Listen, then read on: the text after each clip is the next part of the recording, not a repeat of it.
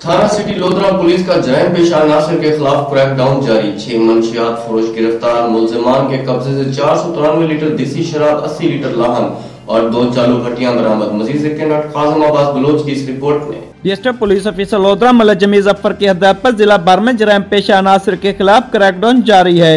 थाना city lodhra police ने S H O Fizan Qayyum की सरबराही में मंशिया फरोशों के खिलाफ कार्रवाइयाँ करते हुए दो मंशिया फरोशों को शराब कशीद करते हुए और चार मंशिया फरोशों को शराब फरोख करते हुए गिरफ़्तार कर लिया।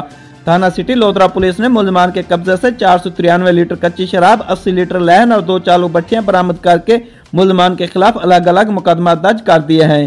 ज्येष्ठ पुलिस ऑफिसर मलच मीजा पर ने मंशिया फरोशों के खिलाफ कार्रवाई करने पर थाना सिटी लोधरा पुलिस टीम की कारकर्दगी को सराहा है।